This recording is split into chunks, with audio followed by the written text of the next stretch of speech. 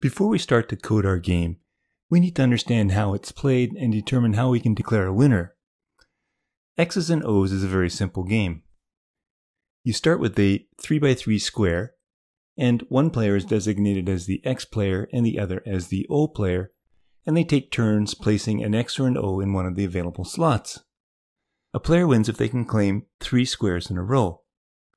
Now these can either be three across, like any of these moves, or three down, like these, or in either of the diagonal directions.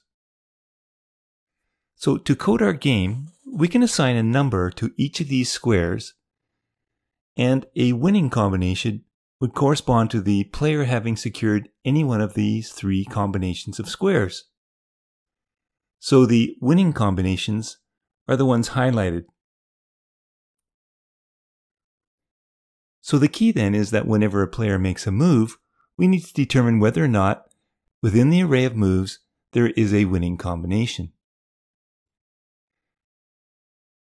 Before we start doing any coding, I want to set up a new branch so it'll be easier to roll back to the previous video should I make any breaking changes.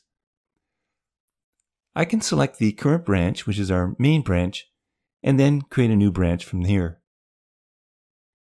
I'm going to call this game planning. Now, before I start to add any code to my project, however, I need to figure out how one can determine if our player's array of moves contains one of the winning arrays. I like to use a playground to test things out, so let's create a new playground here. I'm just going to call it game planning. For reference, because I'm going to need it later, I'm going to replace the text view here with a property called all that will be an array of all possible moves. Let me also create another property called winning moves, and that's the array of arrays where each one is the array of three winning moves.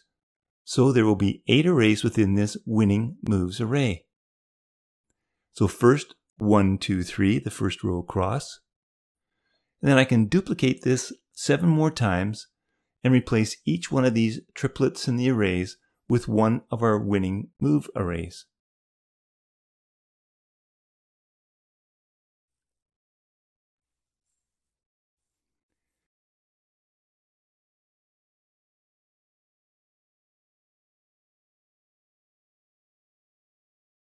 In any given game, a player will have made between 0 and 5 moves before we've either reached a stalemate or a combination of one of those moves might match one of our winning moves.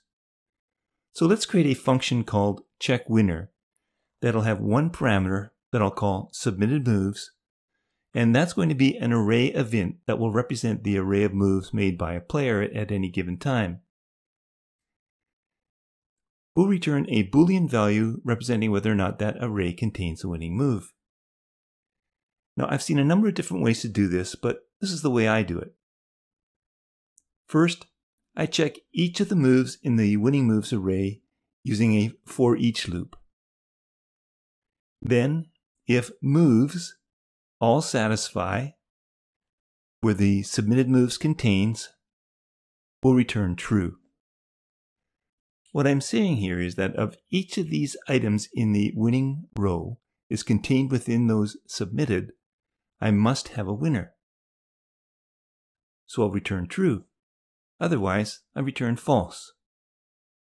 And I can test this by printing the result of passing a random array of ints representing the moves like this. When I run this playground, I get true because a subset of that array must match one of the winning rows, and that is the 159 row. Now, if I change this 9 to an 8, and then run again, it fails and I get false. So let's return to our project now and add some more models to our game models file. The first is going to be an enum to represent the game piece, which will either be an X or an O. So I'm going to make this enum a string and just use X and O as the two cases. Now remember, I have those two assets that we added, and they're named exactly X and O. So if I return now to my enum and the file here, I can change the import to SwiftUI instead of Foundation.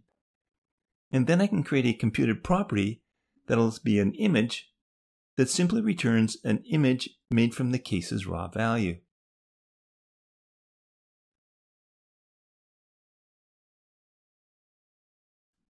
Next, I want to create a player object so that I can keep track of which game piece the player is using, the name of that player, the number of moves that they've made, along with whether or not they are the current player.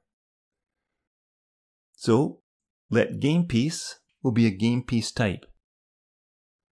The name will be a string.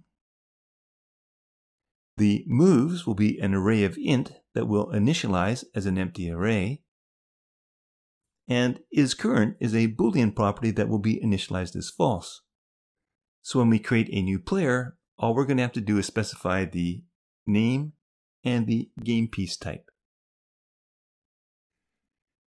Next, I want to create an enum that I can use as a namespace to give me access to all of the possible moves and all of the winning moves from anywhere within my project. So I can return to my playground then and copy these two properties or these two variables. And now I can paste these into the enum, but I'll need to make them static properties.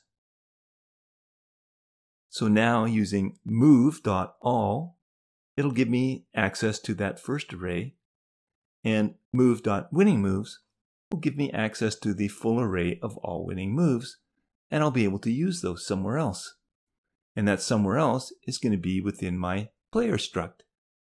And from here then I can create a new computed property that I'm going to call isWinner that's going to return a Boolean property. If we return to our playground, the body of this function is going to return a Boolean based on the value of submitted moves, which in our case will be the moves stored in the move property of the player.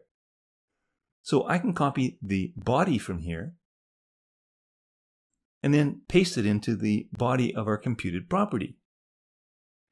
Well, winning moves is unknown, but we have that enum move that's our namespace that'll provide us with that.